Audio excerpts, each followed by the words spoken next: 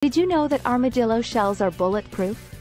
In fact, one Texas man was hospitalized when a bullet he shot at an armadillo ricocheted off the animal and hit him in the jaw.